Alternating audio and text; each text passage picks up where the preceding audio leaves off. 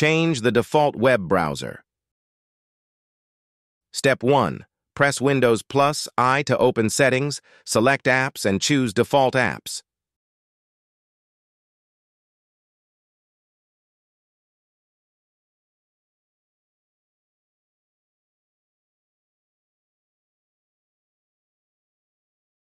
Step 2. Locate Web Browser, click it, and pick a new web browser.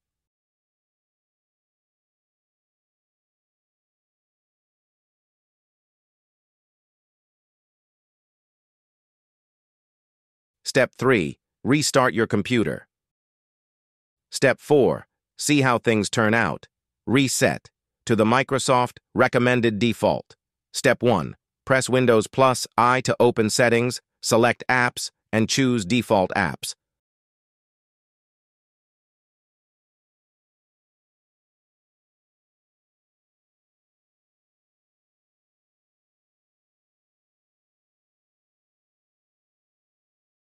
Step 2. Hit Reset under Reset to the Microsoft recommended defaults. Step 3. Restart your computer. Step 4. Witness the result. Change the default app for HTM and HTML extensions. Step 1. Press Windows plus I to open settings, select apps, and choose default apps.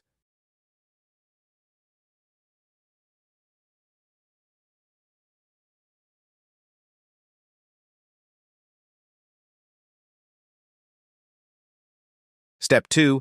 Hit Choose Default Apps by file type.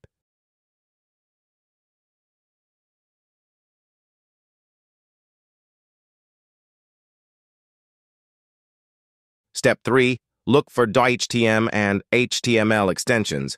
Click each of them and pick a new web browser.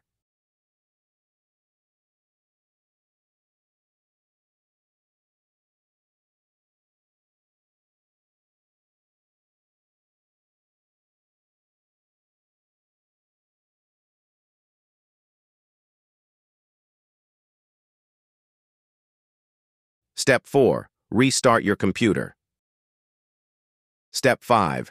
When the screen comes back on, determine whether the issue persists, changing the default app for HTTP and HTTPS protocols.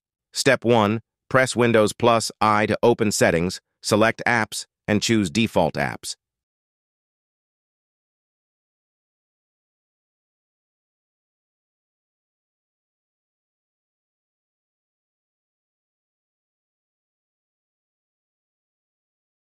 Step 2.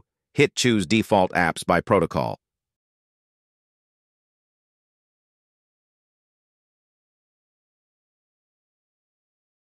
Step 3. Look for HTTP and HTTPS protocols. Click each of them and pick a new web browser.